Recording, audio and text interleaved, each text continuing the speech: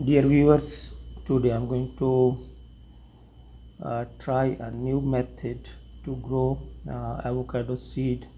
Uh, initially i was trying to uh, grow seed by dipping uh, this avocado seed in water. Uh, it was dipped in water for last 15 days but up to now i didn't found any germination from it. You can see this one it is uh, already swollen uh, and uh, remove this hard sickle or is skin from this seed. So I will try to uh, do another method like jar uh, jar method. I will put these seeds in jar and close it airtight. So here uh, today I have a jar glass jar to place the seed in the uh, jar. Similarly I have water and then, and then some tissue paper. So I will use this tissue paper uh, uh, to moisten the um, seeds inside the jar. So here I have uh, different types of seeds uh, which I collected uh, from market. There are different types actually they are mixed now there are a few seeds you can see here. They are already broken so and these are not useful. So we will not use these seeds but others uh, let's here see. There are some they are already black so we are not sure how many seeds will be uh, germinated.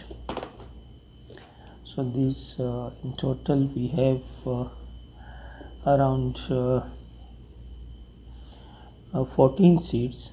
So there you can see this is a very fresh seed here and uh, uh, it is uh, Mexican variety these big one Mexico variety. And it is has avocado. And there are some uh, which are not uh, from Mexico they are from Africa African quality also there. So these are mixed at least uh, three to four types of avocados seeds are with me. So what we are going to do at first step let us uh, uh, put some tissue paper in the uh, jar. Here I will just open it and uh, we will place some tissue paper inside this one. Maybe four five you can put at the bottom and uh, just uh, put little water. Don't uh, soak it. Just to make them moist. And then we will place some uh, two or three or maybe four seeds at the bottom. Okay then also again we will put some water. Okay then put some more tissue paper. Here you can see in this way so put some two or three tissue paper. After that uh, again put uh, four or five seeds on on this tissue paper here. And this way one by one. Okay and uh, then again moist this tissue paper with water like this way. Okay and now put more tissue paper. Like keep it filling uh, with the layers of tissue paper and layers of seed. So now i'm going to use these. These big one these are uh, avocado from mexico. So this uh, because Hass avocado has big seeds and their sizes but the taste and uh, the butteriness of uh, avocado is better than other types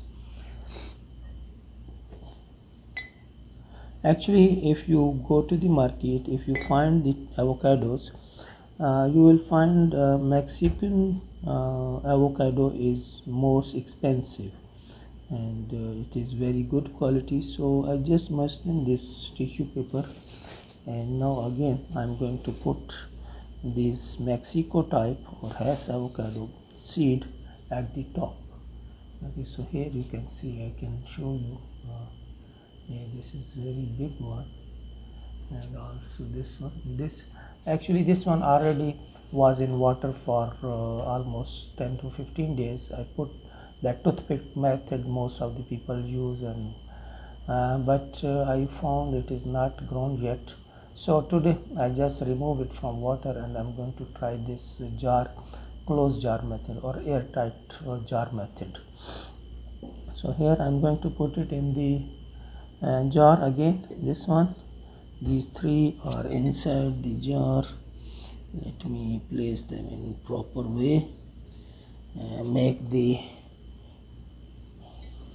uh, side on the bottom. And uh, then uh, I will uh, add some tissue paper again on the top of this one. Here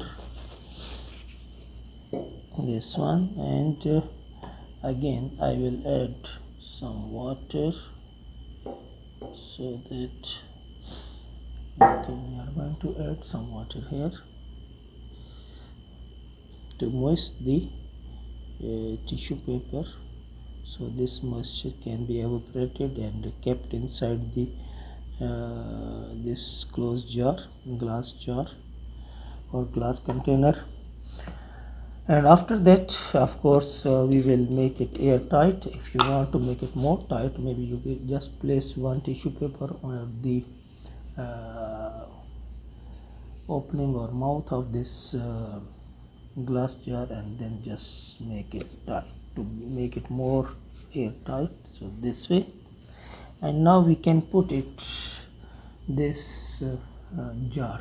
Like you can see here there are some seed inside. Okay we can put this jar on uh, uh, moderate temperature press not very high uh, maybe room temperature and uh, there should be some light which can fall on the jar during the daytime. So that's all and I will also let you know that how I get the avocados from my avocado trees in three years. Within three years, my first avocado tree give at least 25 avocados. Some of the avocados was uh, fell down, but few of them are grown. So in second part of this video, you will see my plants and avocados. Thank you.